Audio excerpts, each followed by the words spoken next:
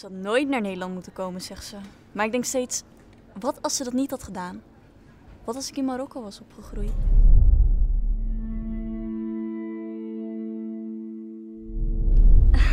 Dat moet niet gekker worden. Wat is dat dan voor vraag? Waarom? Wel, stop. Waarom heb Au, je me dat wel, aangedaan? Stop met z'n... Waarom? Au, wel, Waarom? Stop! Stop het!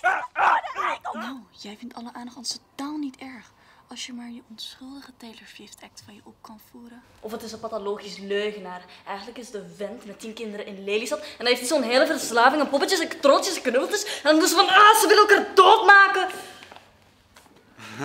Altijd met je positieve onzin. Het leven is niet zo makkelijk voor iedereen.